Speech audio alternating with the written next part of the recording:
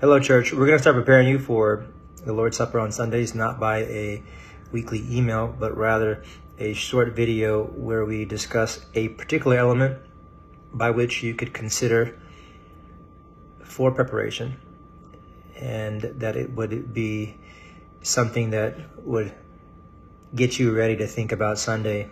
Remember, like Sunday begins on Monday.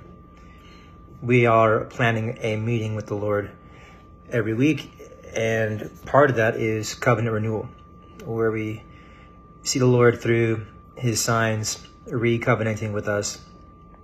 Not make another covenant with us, but affirming the covenant anew with us.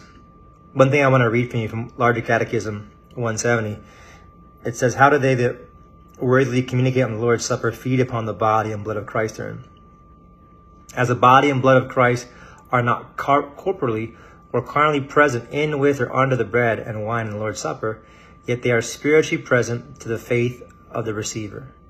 No less truly and really than the elements themselves are the outward senses, so they that worthily communicate in the sacrament of the Lord's Supper do therein feed upon the body and blood of Christ, not after a corporal and carnal, but in a spiritual manner, yet truly and really, while by faith they receive and apply themselves to Christ crucified and all the benefits of his death.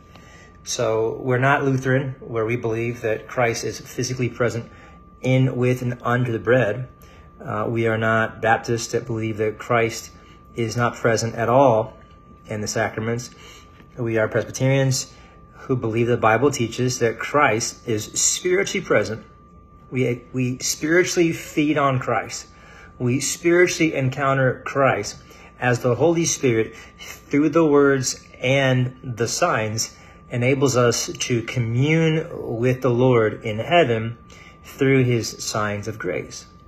So I want you to think this week that on Sunday, you're not going to consider the Lord as he is in heaven, absent from the assembly. The Lord is in heaven, but he is with us. He is near to us, and we are encountering him experientially in the word preached, in the song sung, and particularly in the signs of grace.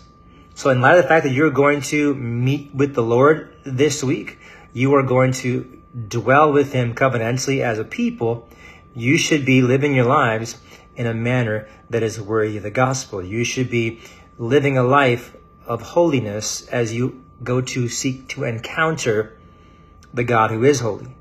And also, as you consider the Lord who is holy, who you are going to meet with and truly encounter, uh, you should consider your sins and your errors throughout the week that you will bring to the Lord as you are reminded of his grace in words and signs.